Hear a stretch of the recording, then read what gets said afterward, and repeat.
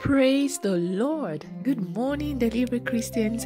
It's another beautiful week again. The Lord has granted us yet another opportunity to be counted amongst the living. May His name forever be praised. We are commanding our week again, and I hope that you've got your faith packed up and ready to receive yet another word from the Lord. Our word for this week says, This week we decree that we are instruments of unity in our homes, workplaces, spiritual community, and all places we enter into. We foster atmospheres that command the blessings of God and eternal life in Jesus' name. How encouraging, how liberating this word is. This week, we decree that we are instruments of unity. I want you to say to yourself, I am an instrument of unity in my home, at my workplace, in my business, in my church, everywhere I go into. I am an instrument of unity. I foster atmospheres that command the blessings of God and eternal life in Jesus' name. Amen. The word for this week was taken from the book of Psalms 133. Psalms 133. It reads, How good and pleasant it is when God's people live together in unity. It is like precious oil poured on the head, running down on the bed, running down on Aaron's bed, down on the collar of his robe. It is as if the dew of Hermon were falling on Mount Zion. For there the Lord bestows his blessing, even life forevermore. The psalmist particularly talks about unity, about the benefits, the advantages of unity. And he says in verse 1 how good and how pleasant it is when God's people live together in unity. And then he likens unity to precious oil that is poured on the head. You know, when oil is poured on a person's head, you know, it flows down seamlessly without restrictions. You know, it goes straight down. And then it says in verse 2, it is running down on the bed. So it moves from the head and flows without restriction to the face, to the bed, and then running down on Aaron's bed. You know, Aaron was the first priest, okay, in Israel. It says he runs down on Aaron's bed, down on the collar of his robe. How beautiful. You know, we are the priests of this day. The Bible says that we are a royal priesthood, you know, a holy nation, a peculiar people. You know, we are called to show for the praises of Him who has called us out of darkness into His marvelous light. So we are the Aarons of today. And the psalmist is saying to us, Look, it is pleasant if you, God's people, live together in unity. This unity will be like oil, will be like, you know, the oil signifies anointing. It will be like the anointing is poured upon you, and the anointing will flow seamlessly into every area of your life. How beautiful. You know what comes to mind is how much we have cost ourselves by living in strife how much we have cost our families by living in disunity. Unity speaks of oneness, unity speaks of harmony, and the Lord mirrors this oneness to us by the Trinity. God the Father, God the Son, and God the Holy Spirit, you would never see one saying something different from the other. They act in unity, their operation is unified. The word will always align with the Lord everything, you know, is one. And that is the same thing that the Lord wants us to mirror here on earth, regardless of our differences, regardless of our statuses, regardless of how we feel. If you take a look at the thumbnail we have there, you know, with the stones laid upon each other, you would see that the stones have different sizes and shapes but they would never be able to line up on each other without each one assuming a position or a posture that might or might not be comfortable. But for them to line up and be able to stay still and attain balance, each one must be willing to bend, must be willing to move from what they define as comfort, from what they want to attain balance. That exactly is how peace also comes to be. That exactly is how unity comes to be. Some of the ingredients that give room for peace and for unity is peace, it's love, it's humility. You know, the state of wanting to serve and honor others more than ourselves. This is something that is lacking in our world today. It is lacking in we don't it's lacking in homes, it's lacking even in the church of God. It's lacking in businesses, and that is why we want to climb on top of other people to get to the top. You know, when the disciples asked the Lord Jesus, He says, Who, which one of us is going to, is, is, is the greatest? And the Lord told them that the one that wants to be great has to be the servant of all. You know, for us to foster unity in our homes, in our businesses, and wherever we find ourselves, we must be willing to be humble just as the Lord Jesus was humble. He was in every sense equal with God, but the Bible says he counted it not robbery to be equal with God, and he chose to humble himself. There is a role that unity plays, as we can see here in Psalm 133. It says, It is like precious oil. So that means when we are operating in this unity, we restrict the flow of the anointing. We restrict the flow of the anointing in our homes. We restrict the flow of the anointing in our, in our lives. We restrict the flow of the anointing over our businesses.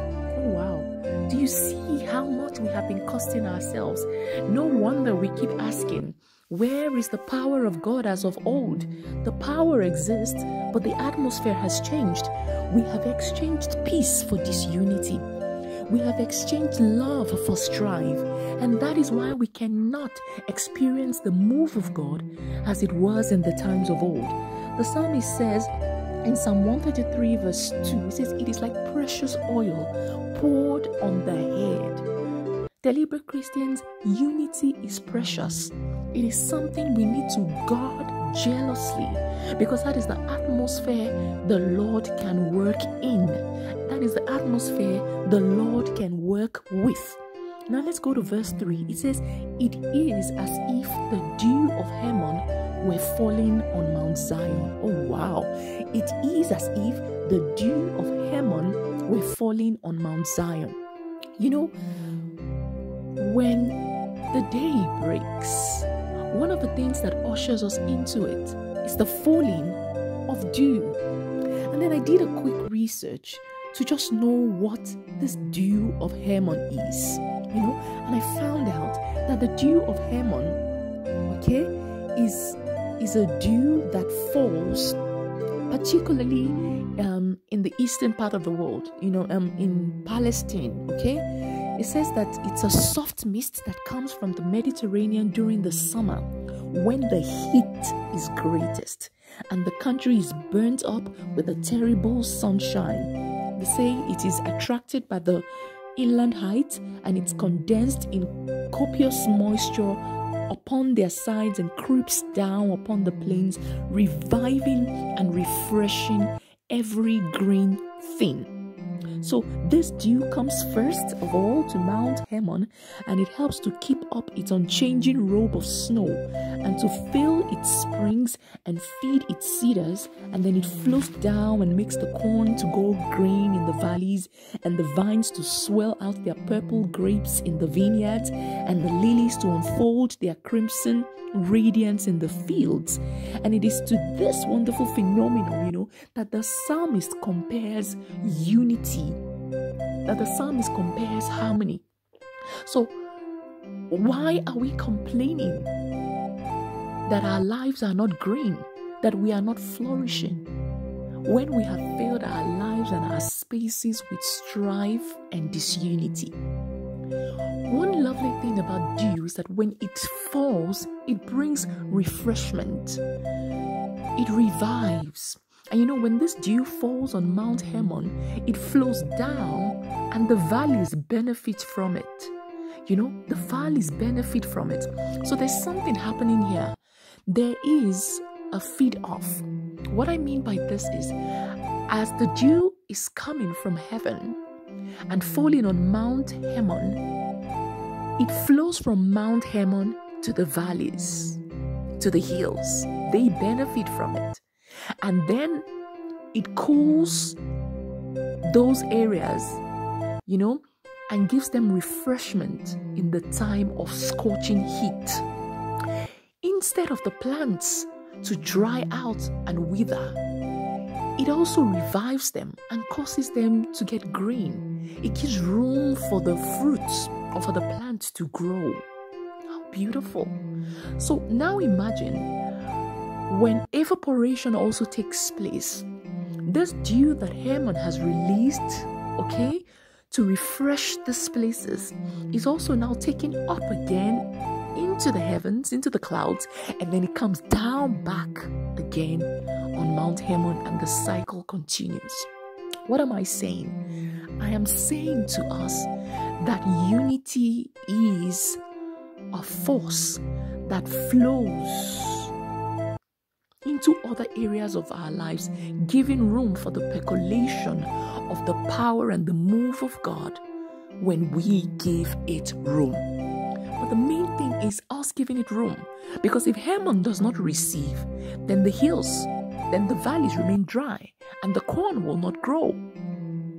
But the receipt, so that means it starts with you, it starts with me, it starts with us, it starts with every one of us taking that position, making that choice, you know, just as I explained with um, the stones, making that choice to live in unity. It is a choice, it's not going to happen naturally.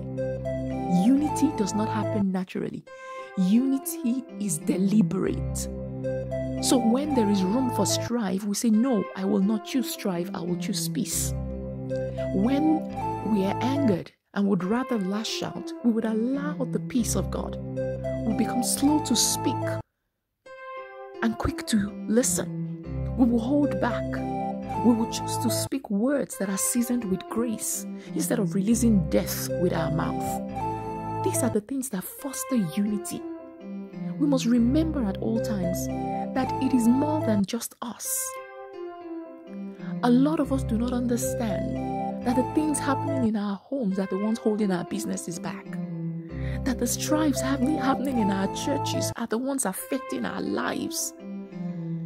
And the things happening in the different churches are affecting the body of Christ. And as they are affecting the body of Christ, they are affecting our society, our countries, the nations of the world. Somebody might say, Oh, what will my contribution do? Your contribution will go a long way. Because as Hermon receives, Hermon releases, and then it flows. So be the one that starts the flow. Be the one that starts the flow. And let this blessing move let this person extend into other spaces. You know, the beards are not the ones that received the oil.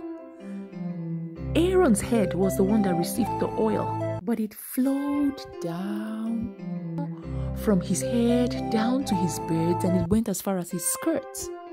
Verse 3 of Psalm 133 says, It is as if the dew of Hermon were falling on Mount Zion, for there the Lord bestows his blessing even life forevermore. So the Lord is saying, no unity, no blessing. No unity, no eternal life. What is eternal life? Eternal life is Jesus. Eternal life is Jesus. Deliberate Christian. Are you calling yourself Christian and wondering why so many unpleasant things are happening in your home? You have kicked out the Prince of Peace. You have kicked out the Prince of Peace with strife with quarrels, with wrath, with impatience, with pride. It's time for us to go back to becoming instruments of peace. I remember the song by Don Moen. It says, um, Lord, make us instruments of your peace. It says, Where there is strife, He says, Let your peace reign. Are you going to make a decision today, deliberate Christians? to be an instrument of peace, one that starts the flow so that it can have an unrestricted movement into the other aspects of your life and the life of others. I can say from here that unity is contagious. You start it. The Bible tells us in the book of Ephesians, chapter 2, it says we should, you know, foster the spirit of unity by the bond of peace. Deliberate Christians, it is time for each of us to do this. You want miracles, you want blessings. We pray, pray, pray. But the anointing is not moving in our midst because there is disunity. This week, our deliberate Christian challenge is to be an instrument of unity. Deliberate Christians, it is time for each of us to do this. You want miracles, you want blessings. We pray, pray, pray. But the anointing is not moving in our midst because there is this unity. This week, our deliberate Christian challenge is to be an instrument of peace. Be the first one to say sorry. Be the one who chooses to pull out of an heated argument. Be the one to forgive. Be an instrument of peace so that the blessings of the Lord can flow and so that eternal life can reside with us forever. I am so encouraged by this word, and I do trust that you are as well. Please hold on to this word, and I trust that you will be blessed by it in Jesus' name. Let us pray. Lord, we just thank you for this word that you have given us. We ask, oh God, for grace, Lord, to work in harmony. We ask, oh God, that our lives will be atmospheres that give room for the flow of the anointing, that give room for your blessings to be released, and that give room for eternal life. May we be the first point from which unity would flow into our homes, into our workplaces, into our churches, into our society, into our community, into our nations. Make us instruments of your peace, O oh God.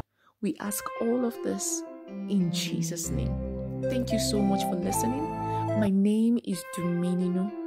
I would like to invite you to join us in Deliberate Christian Life. We are a Christian discipleship and lifestyle transformation ministry. We nurture Christians to get started on a progressive journey of appropriating grace to becoming Christ like. We do life together, we study, we pray, and we hold ourselves accountable on the journey. It's going to be a beautiful engagement. It's going to be a beautiful time for you, a beautiful experience for you if you do join us. If you'd like to know more, please send an email to us deliberateChristianLife at gmail.com. Have you subscribed? Please make sure you subscribe to our YouTube channel so that you get notified every time we post a new video. It's such a blessing to do life with you. Be blessed this week as you consciously walk as an instrument of peace in Jesus' name. Amen. Thank you for listening. We trust you have been blessed. If you would like to support the ministry financially, please pay to flutterwave.com forward slash pay forward slash DCL. I'll take that again. flutterwave.com forward slash pay forward slash DCL please join us on Facebook. Our page is Deliberate Christian Life. On Instagram, the page is Deliberate Christian. And on Twitter, the handle is We Are Deliberate. Remain deliberate and be blessed in Jesus.